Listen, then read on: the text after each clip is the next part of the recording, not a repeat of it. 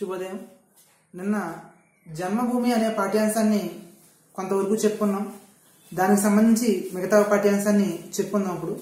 కాకపోతే నిన్న చెప్పిన దాని మీద ఒకసారి పునశ్చరణ చేసుకుందాం.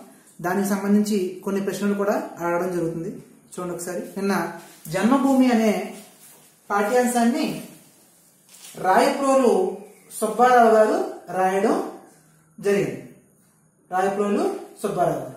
ఈ జన్మభూమి అనే పాఠ్యాంశంలో ఆయన ఏం చెప్పారు? ఎస్ ఏ దేశం ఎగినా ఎందుకు ఆలిడినా ఏ పీఠం ఎక్కినా ఎవరేమనినా పొగడరా నీ తల్లి భూమి భారతిని నిలపరా నీ జాతి నిండు గౌరవం. ఏ పూర్వపుణ్యమో ఏ యోగ బలమో జనించినాడవి స్వర్గఖండమున ఏ మంచి పువ్వులను ప్రేమించినావో నిన్ను మోసే ఈ తల్లి కనక గర్భమున.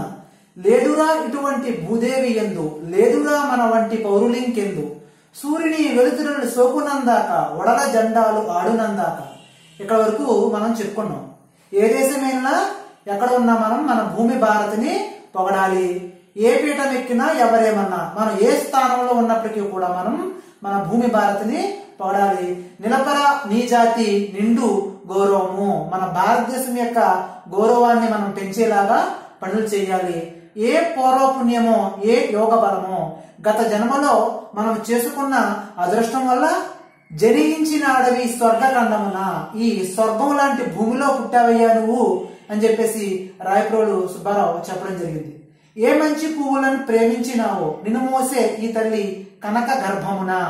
బంగారం లాంటి ఈ భారతదేశం యొక్క పొత్తిలలో నువ్వు పుట్టావు ఏ మంచి పూలతో నువ్వు దేవుణ్ణి పూజించావో ఓ భారతీయుడా ఈ దేశంలో నువ్వు పుట్టడం గత జన్మ యొక్క సుకృతం ఏ యజ్ఞమో యాగమో చేస్తుంటావు లేదంటే మంచి మంచి పూలతో నువ్వు దేవుణ్ణి కొలుచుంటావు అందువల్లే నువ్వు ఈ భారతదేశం లాంటి భారతదేశం లాంటి దేశంలో పుట్టావు అని చెప్పేసి అని చెప్పడం జరిగింది.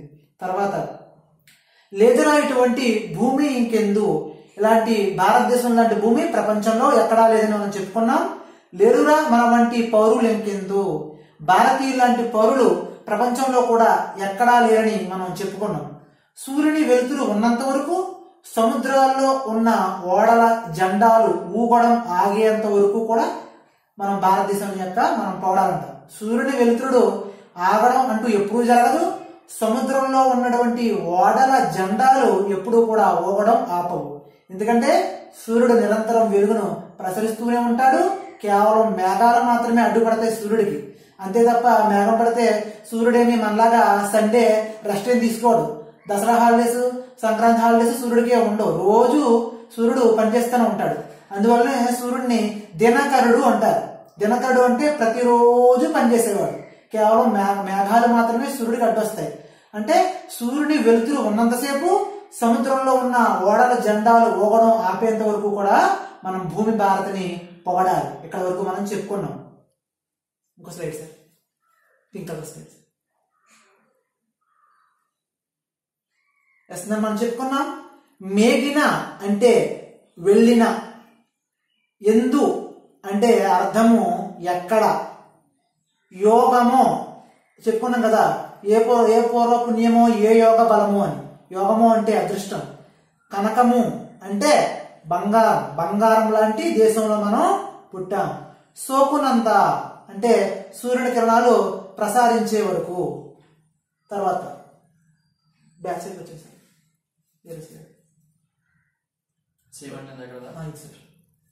ఓకే నేను ఇక్కడ దాకా చెప్పుకున్నాం కదండి. తర్వాత ఇక్కడ నుంచి మనం కంటిన్యూ చేద్దాం.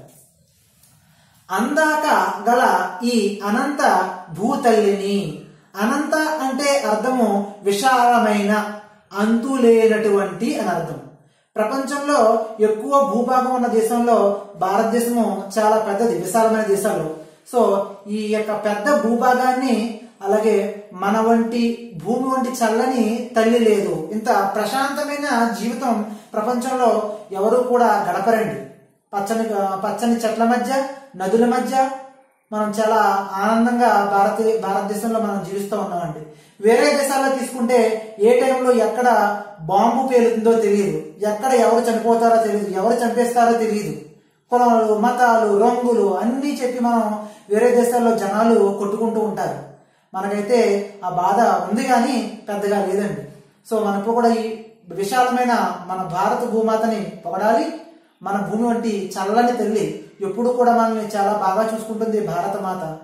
అలాగే అలాగే పాడరా నీ తెలుగు బాల గీతములు మనం మన మాతృభాష తెలుగు కాబట్టి మనం తెలుగులో ఉన్న గీతాన్ని ఇందాక చెప్పుకున్నాం. చిట్టి చిలకమ్మ కావచ్చు లేదంటే మా తెలుగు తెలుగు కావచ్చు ఇలాంటి పాటల్ని మనం పాడుకుంటూ ఉండాలి. పాడరా నీ తెలుగు బాల గీతాలు మనకి మన తల్లి ఇచ్చిన వరము భాష.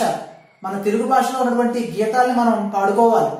అలాగే పడరా నీవేరా భావ భారతము. ఎంతో మంది భారతదేశం స్వాతంత్ర్యం కోసం ప్రాణాన్ని అర్పించారు. అలాంటి వీరుల యొక్క కథల గురించి మనం వీరుల గురించి మనం పాటలు మనం పాడుకోవాలంట. చిన్న చిన్న పాటలు పాడుకోవాలి బాలగీతాలంటే వీర భారతము అంటే కనుక వీరుల గురించి పాడుకోవాలి అలా మనకి భారతం అని చెప్పేసి ఒక పురాణం ఉందండి. ఇతిహాసాలు ఉన్నాయి. కౌరవులు పాండవులు ఉంటారండి. ఈ యొక్క భారతంలో ఏం జరుగుతుందండి? అధర్మం పైన ధర్మం అనేది గెలుస్తుందండి. కౌరవుల మీద పాండవులు నెగ్గడం అనేది జరుగుతూ ఉంటుంది ఆ భారతాన్ని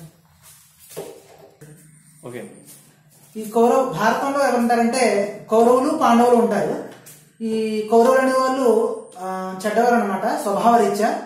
ఈ పాండవులు అనే వాళ్ళు మంచివాళ్ళు. ఈ కౌరవుల మీద భారతంలో పాండవులు గెలుస్తారనమాట ఆ వీర గాథల్ని మనము పాడుకోవాలని ఎవరు చెప్పారండి? రాయప్రోలు సుబ్బారావు గారు చెప్పడం జరిగింది. ఇంకా ఏంటి? భారతదేశం యొక్క గొప్పతనం చాలా చాలా చాలా చాలా ఉన్నాయి. భారతదేశం యొక్క గొప్పతనం. ఇంకేంటంట? చూడండి. పొలముల రత్నాలు మొలిచరా ఇచట వార్దిలో ముత్యాలు పండెరా ఇచట పృథివీ దివ్యోషధులు పిదికెరా మనకు కానల కస్తూరి కాచెరా మనకు. ఏంటో చూడండి. పొలముల రత్నాలు మొలిచరా మనకు. భారతదేశంలో పొలములో రత్నాలు మొలుస్తాయట.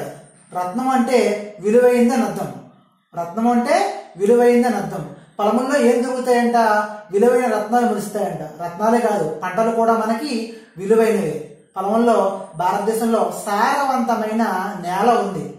సారవంతమైన నేల అంటే ఎప్పుడైనా మనం మొక్కలు నాటామనుకోండి ఒకే మొక్కల్ని రెండు సార్లు వేరే వేరే చోట పారుతాం. ఒకటేమో పూలకుండీలో పాతాం ఇంకోటేమో వేరే నేల మీద పాతామనుకోండి పూలకుండీలో మొక్కేమో సరిగ్గా ఎదగదు. నేల మీద మొక్కన పాటిన పాచిన మొక్కేమో నిలబడుతుంది వర్షం నీళ్ళు పడితే. ఎందుకు? నేల అక్కడ సారమైంది బలమైన నేల అనమాట భారతదేశంలో ఉన్న నేల బలమైన నేల. ఇక్కడ ఏం పంటలు పండించినా కూడా చాలా బాగా పండుతాయి అన్నమాట అలాంటి గొప్ప నేల మన తల్లి భారత నేల. అలాగే వార్ధిలో ముత్యాలు పండేరా ఇచ్చట. వార్ధి అంటే సముద్రం. సముద్రంలో మనకి ముత్యాలు పండుతాయట. ముత్యాలు పండడం అంటే సాధారణంగా సముద్రంలో ముత్యాలు దొరుకుతాయి. ఇక్కడ కవి ఉద్దేశం ఏంటంటే కనుక ముత్యాలు అంటే చేపలు మత్స్య సంపద మన దేశంలో మన మన భారతదేశంలో ఉన్నటువంటి సముద్ర జలాలలో అంతు లేనటువంటి చేపలు ఉన్నాయి. ఆ చేపలు అమ్ముకోవడం ద్వారా వేరే దేశాలకి మనం డబ్బుని సంపాదిస్తున్నాం. వార్దిలో ముత్యాలు పండడం అంటే ఇది. అంతులేనటువంటి జ జలచరాలు సముద్రాలు సముద్రాల్లో చేపలు మనకి భారతదేశంలో ఉన్నాయి. మనకున్న నేల పొలములో ఉన్న నేల కూడా సారవంతమైంది. వార్ధి సముద్రం కూడా మనకి సారవంతమైంది. ఏ పంట పండించినా బాగా పండుతుంది నేల మీద? సముద్రంలో కూడా చాలా రకాల చేపలు మన భారతదేశంలో ఉన్నాయి. ఈ మాటలన్నీ ఎవరు చెప్తున్నారు? రాయప్రోలు సుబ్బారావు గారు. దేని గొప్పతనం ఇదంతా కూడా? అమెరికాదా? ఇంగ్లాండ్దా? ఎవరిదండి? భారతదేశం యొక్క గొప్పతనము ఇదంతా కూడా. ఇంకా చూడండి. పృథివీ దివ్యౌషధముల్ పిదికెరా మనకు. ఇక్కడ పృథివీ అంటే భూమి. దివ్యౌషధముల్ అంటే కనుక ఆయుర్వేద మొక్కలండి. ఇప్పుడు మనం ప్రతి చిన్నదానికి కూడా మందులు వేసుకుంటున్నాం. జ్వరానికి అన్నింటికి మందులే మనకి. ఒళ్ళు నొప్పికి తలనొప్పికి దేనికైనా మందులే. మరి పూర్వకాలంలో జనాలు ఎలాగా జబ్బుల్ని రోగాల్ని తగ్గించుకునేవారు? దివ్య ఔషధములు. ఇప్పటికీ కూడా మన ఇంట్లో ఉన్న అమ్మమ్మ నాన్నమ్మ వాళ్ళు చెప్తూ ఉంటారు.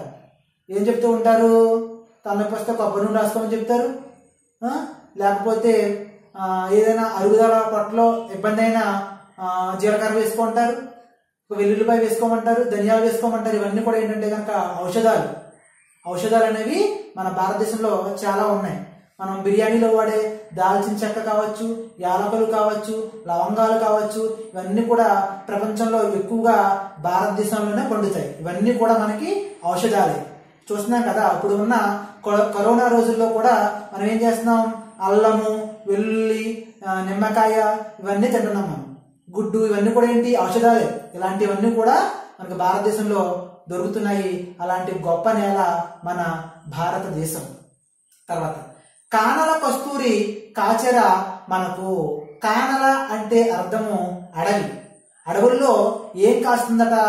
కస్తూరి. కస్తూరి అంటే ఇది ఒక పేరు కాదు. కస్తూరి అంటే ఒకనొక సుగంధ ద్రవ్యము వాసన వచ్చే ఒక పదార్థం అన్నమాట. దీన్ని సాధారణంగా పూర్వకాలంలో బొట్టు కోసం వాడేవారు అనమాట మన మామూలుగా మనం కుంకుమ బొట్టు పెట్టుకుంటాం చిన్న చోట. అలా కాకుండా నిలువు బొట్టు ఉంటుంది అనమాట కొనురెప్పల నుంచి తల యొక్క జుట్టు తాకే వరకు కూడా ఈనుగు పొలతో పెడతారనమాట పెళ్ళిళ్ళలో పెట్టుకునే మాదిరి.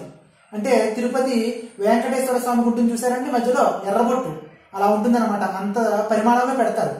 అంటే మామూలు బొట్టు పూర్వకాలంలో కస్తూరి అని చెప్పేసి ఉంటుంది అనమాట అలాంటి కస్తూరి మనకి భారతదేశంలో దొరుకుతుంది ఏం దొరుకుతున్నాయి మనకి? పొలములో రత్నాలు పంటలు బాగా పండుతాయి భారతదేశంలో. తర్వాత వాతిలో ముత్యాలు పండుతాయి. ముత్యాలంటే చేపలు మనకి బాగా ఉన్నాయి. పృథ్వీ భూమి మీద ఏం దొరుకుతాయి సుగంధ ద్రవ్యాలు. చెప్పుకున్నాం కదా యాలకులు లవంగాలు అన్నీ కూడా మనకి పుష్కలంగా కావాల్సినంత ఉన్నాయి భారతదేశంలో. అలాగే కస్తూరి అనేది కూడా మన భారతదేశంలో దొరుకుతుంది అనమాట తర్వాత ఇంకేమంటారు? లాస్ట్ వచ్చేసింది అంటే చివరికి వచ్చేసింది. అవమాన మేళారా అనుమాన మేళ ఓ భారతీయుడా ఓ తెలుగువాడా నీకు అవమానమేంటి మనకి తాత ముత్తాతల నుంచి వస్తున్న పంచె పంచి కొట్టుకోవడానికి కానీ చీర చీర వేసుకోవడానికి కానీ మనకేమీ లేకపోతే మనం తెలుగులో మాట్లాడడానికి కానీ మనకేమీ కూడా అవమానంగా మనం ఫీల్ అవ్వకూడదు. అవమానంగా మనం భావించకూడదు. అనుమానం కూడా అక్కర్లేదు. నలుగురిలో తెలుగులో మాట్లాడితే చీర కొట్టుకుని వెళ్తే మనకేమైనా అనుమానం జరిగిపోతుందని చెప్పేసి మనం ఏమి కూడా లోపల భయపడక్కర్లేదు. మనంతా కూడా తెలుగు జాతి గొప్ప జాతి అలాంటి తెలుగు జాతి యొక్క గొప్పతనాన్ని మనం పాడుతూ ఉండాలి అని చెప్పేసి రాయప్రోలు సుబ్బారావు గారు చెప్తున్నారు. భారతీయుడు నంచు మేమంతా కూడా భారతీయులం మేరా భారత్ మహాన్ అంటూ కూడా మనం ఎలా పాడాలి? భక్తితో పాడమని చెప్పేసి ఎవరు చెప్పారండి? రాయప్రోలు సుబ్బారావు గారు చెప్పడం జరిగింది. ఒకసారి సారాంశాన్ని మనం చూద్దాం. సారాంశం.